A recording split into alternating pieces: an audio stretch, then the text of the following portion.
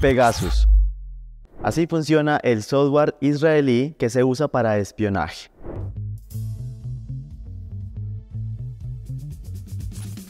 El software espía de grado militar Pegasus, desarrollado por la empresa israelí NSO para rastrear terroristas y delincuentes, ha sido utilizado en por lo menos 50 países para espiar celulares pertenecientes a periodistas, activistas de derechos humanos, ejecutivos de empresas y hasta presidentes. Hola y bienvenidos al canal oficial de Encriptados. Quizás has escuchado hablar del software espía Pegasus, pero ¿sabes qué es y cómo funciona? Aquí te lo contamos. El escándalo, sin duda, ha prendido las alarmas sobre el espionaje virtual masivo y ha puesto en el ojo del huracán a la empresa que desarrolló el virus y a Israel, de donde es nativa la compañía.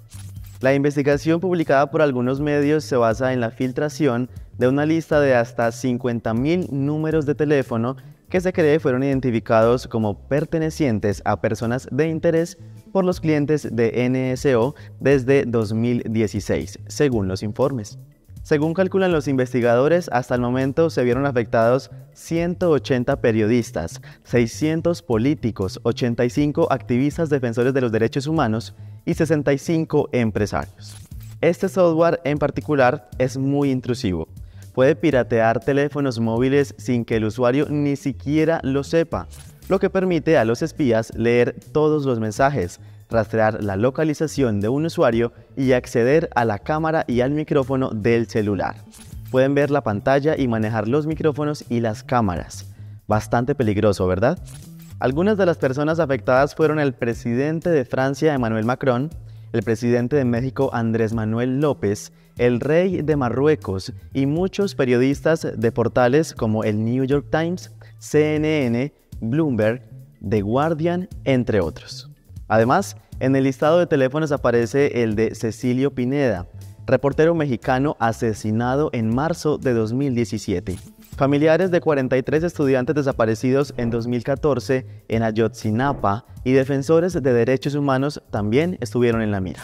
Bueno, y te preguntarás, ¿cómo funciona Pegasus? Una vez se introduce en el teléfono móvil, Pegasus exporta los datos del usuario correos electrónicos, mensajería, fotografías, etc., hacia páginas de Internet creadas por NSO que se renuevan constantemente para evitar ser detectadas. Esta transmisión de información pasa completamente desapercibida para el usuario y es muy difícil encontrar cualquier prueba de este espionaje.